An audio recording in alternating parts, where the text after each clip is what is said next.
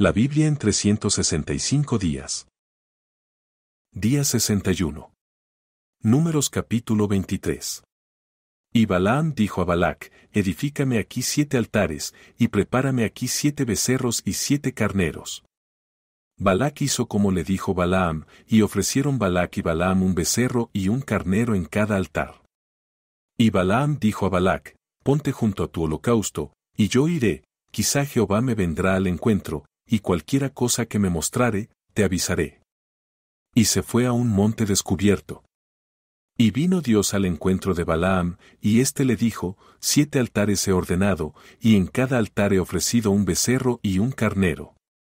Y Jehová puso palabra en la boca de Balaam, y le dijo, Vuelve a Balac, y dile así. Y volvió a él, y he aquí estaba él junto a su holocausto, él y todos los príncipes de Moab. Y él tomó su parábola, y dijo. De Aram me trajo Balac, rey de Moab, de los montes del oriente, ven, maldíceme a Jacob, y ven, execra a Israel. ¿Por qué maldeciré yo al que Dios no maldijo? ¿Y por qué he de execrar al que Jehová no ha execrado? Porque de la cumbre de las peñas lo veré, y desde los collados lo miraré. He aquí un pueblo que habitará confiado, y no será contado entre las naciones. ¿Quién contará el polvo de Jacob, o el número de la cuarta parte de Israel? Muera yo la muerte de los rectos, y mi postrimería sea como la suya. Entonces Balac dijo a Balaam, ¿qué me has hecho? Te he traído para que maldigas a mis enemigos, y he aquí has proferido bendiciones. Él respondió y dijo, ¿no cuidaré de decir lo que Jehová ponga en mi boca? Y dijo Balac, te ruego que vengas conmigo a otro lugar desde el cual los veas, solamente los más cercanos verás, y no los verás todos, y desde allí me los maldecirás. Y lo llevó al campo de Sofim, a la cumbre de Pisga, y edificó siete altares, y ofreció un becerro y un carnero en cada altar. Entonces él dijo a Balac, ponte aquí junto a tu holocausto, y yo iré a encontrar a Dios allí. Y Jehová salió al encuentro de Balaam, y puso palabra en su boca, y le dijo, vuelve a Balac, y dile así. Y vino a él, y he aquí que él estaba junto a su holocausto, y con él los príncipes de Moab, y le dijo Balac. ¿Qué ha dicho Jehová? Entonces él tomó su parábola, y dijo. Balac, levántate y oye, escucha mis palabras, hijo de Sipor. Dios no es hombre, para que mienta, ni hijo de hombre para que se arrepienta. Él dijo, ¿y no hará? ¿Habló, y no lo ejecutará? He aquí, he recibido orden de bendecir, él dio bendición, y no podré revocarla. No ha notado iniquidad en Jacob, ni ha visto perversidad en Israel. Jehová su Dios está con él, y júbilo de rey en él. Dios los ha sacado de Egipto, tiene fuerzas como de búfalo porque contra Jacob no hay agüero, ni adivinación contra Israel. Como ahora, será dicho de Jacob y de Israel, lo que ha hecho Dios. He aquí el pueblo que como león se levantará, y como león se erguirá. No se echará hasta que devore la presa, y beba la sangre de los muertos. Entonces Balac dijo a Balaam, ya que no lo maldices, tampoco lo bendigas. Balaam respondió y dijo a Balac, ¿no te he dicho que todo lo que Jehová me diga, eso tengo que hacer? Y dijo Balac a Balaam, te ruego que vengas, te llevaré a otro lugar, por ventura parecerá bien a Dios que desde allí me lo maldigas. Y Balac llevó a Balaam a la cumbre de Peor, que mira hacia el desierto. Entonces Balaam dijo a Balac, edifícame aquí siete altares, y prepárame aquí siete becerros y siete carneros. Y Balac hizo como Balaam le dijo, y ofreció un becerro y un carnero en cada altar. Números capítulo 24. Cuando vio Balaam que parecía bien a Jehová que él bendijese a Israel, no fue, como la primera y segunda vez, en busca de agüero, sino que puso su rostro hacia el desierto, y alzando sus ojos, vio a Israel alojado por sus tribus, y el Espíritu de Dios vino sobre él. Entonces tomó su parábola, y dijo, Dijo Balaam hijo de Beor, y dijo el varón de ojos abiertos.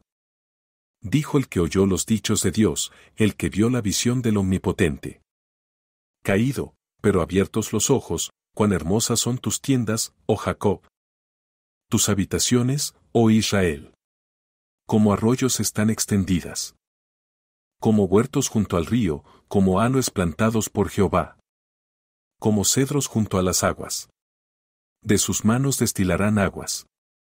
Y su descendencia será en muchas aguas, enaltecerá su rey más que Agag. Y su reino será engrandecido. Dios lo sacó de Egipto. Tiene fuerzas como de búfalo. Devorará a las naciones enemigas.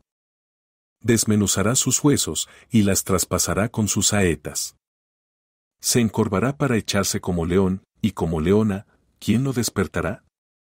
Benditos los que te bendijeren, y malditos los que te maldijeren. Entonces se encendió la ira de Balac contra Balaam, y batiendo sus manos le dijo, Para maldecir a mis enemigos te he llamado, y he aquí los has bendecido ya tres veces. Ahora huye a tu lugar, yo dije que te honraría, mas he aquí que Jehová te ha privado de honra. Y Balaam le respondió, ¿no lo declaré yo también a tus mensajeros que me enviaste, diciendo, si Balac me diese su casa llena de plata y oro, yo no podré traspasar el dicho de Jehová para hacer cosa buena ni mala de mi arbitrio, mas lo que hable Jehová, ¿eso diré yo?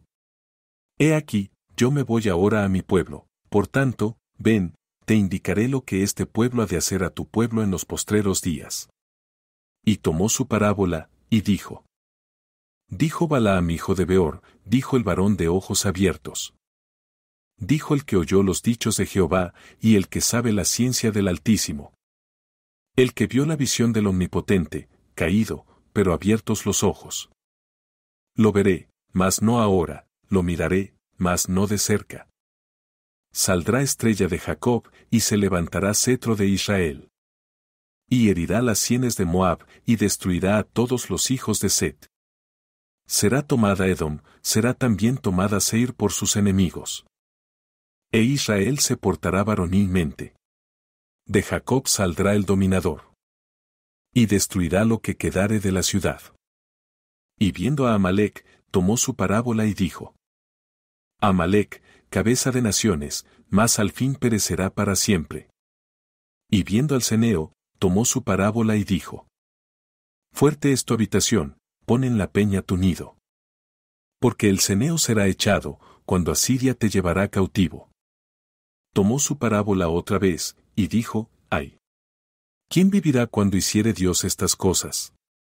Vendrán naves de la costa de Kitim, y afligirán a Asiria, afligirán también a Eber.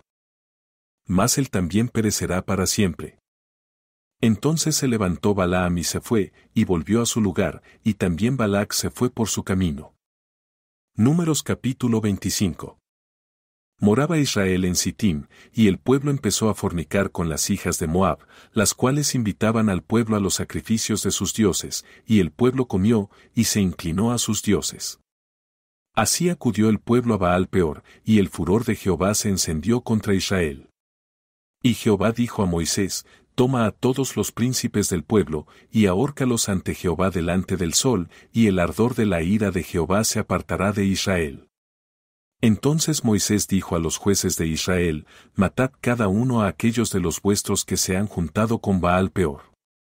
Y he aquí un varón de los hijos de Israel vino y trajo una madianita a sus hermanos, a ojos de Moisés y de toda la congregación de los hijos de Israel, mientras lloraban ellos a la puerta del tabernáculo de reunión.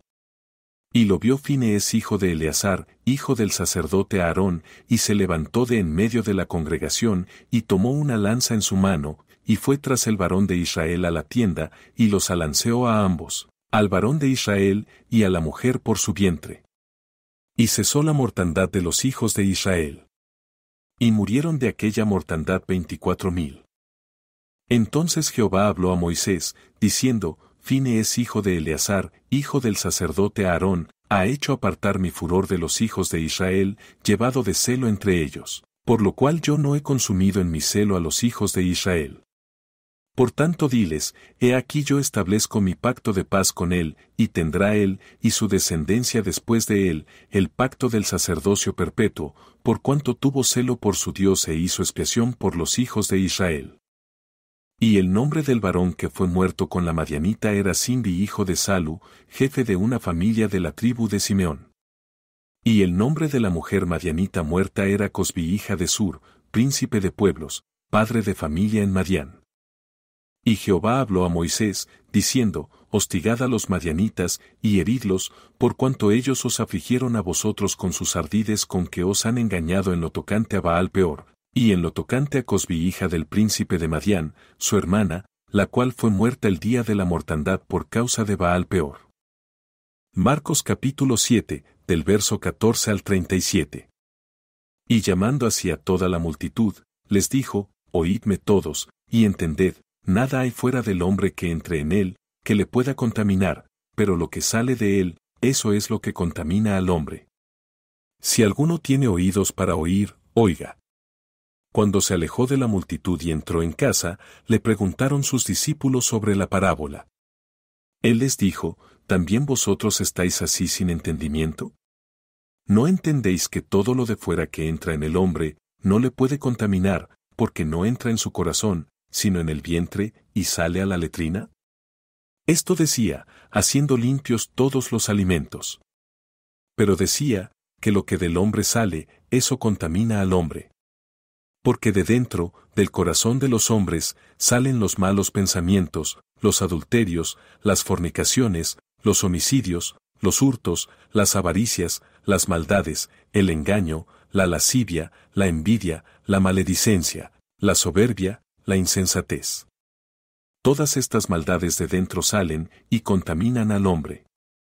Levantándose de allí, se fue a la región de Tiro y de Sidón, y entrando en una casa, no quiso que nadie lo supiese, pero no pudo esconderse.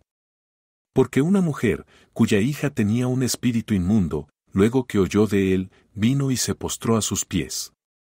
La mujer era griega, y sirofenicia de nación, y le rogaba que echase fuera de su hija al demonio. Pero Jesús le dijo, deja primero que se sacien los hijos, porque no está bien tomar el pan de los hijos y echarlo a los perrillos. Respondió ella y le dijo, sí, Señor, pero aun los perrillos, debajo de la mesa, comen de las migajas de los hijos. Entonces le dijo, por esta palabra, ve, el demonio ha salido de tu hija. Y cuando llegó ella a su casa, halló que el demonio había salido, y a la hija acostada en la cama. Volviendo a salir de la región de Tiro, vino por Sidón al mar de Galilea, pasando por la región de Decápolis. Y le trajeron un sordo y tartamudo, y le rogaron que le pusiera la mano encima.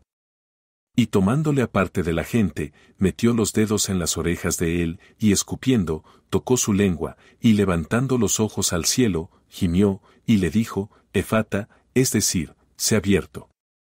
Al momento fueron abiertos sus oídos, y se desató la ligadura de su lengua, y hablaba bien.